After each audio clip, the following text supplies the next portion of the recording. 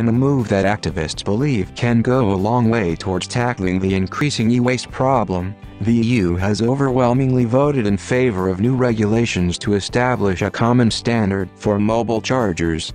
The resolution, which was officially proposed earlier this month, passed by a whopping 582-40 margin, urging the European Commission, which drafts EU laws, to formulate rules that will make it mandatory for all consumer electronics companies to make their mobile chargers fully compatible with devices from other vendors.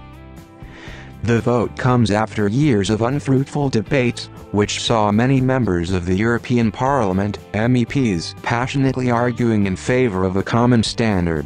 As expected, though, Apple has already opposed the move, saying that regulation to force conformity would stifle innovation and hurt consumers. The resolution, meanwhile, states that such a law should be formulated by July, giving the industry just about six months to get ready for the impending regulation. According to the EU, the imposition of mandatory regulations became incumbent upon the organization after the Commission's approach of encouraging the industry to develop common chargers fell short of the objectives.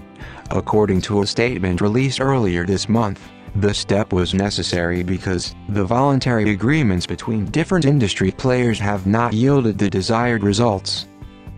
Estimates quoted by the EU claims that old chargers generate more than 51,000 tons of electronic waste per year, which is why a common charger that fits all mobile phones, tablets, e-book readers and other portable devices has become a necessity. According to some observers, it is an important step not only for environmental reasons, but also to save regular consumers from the hassle of having to carry multiple chargers and cables for their phones, tablets, e-readers, etc.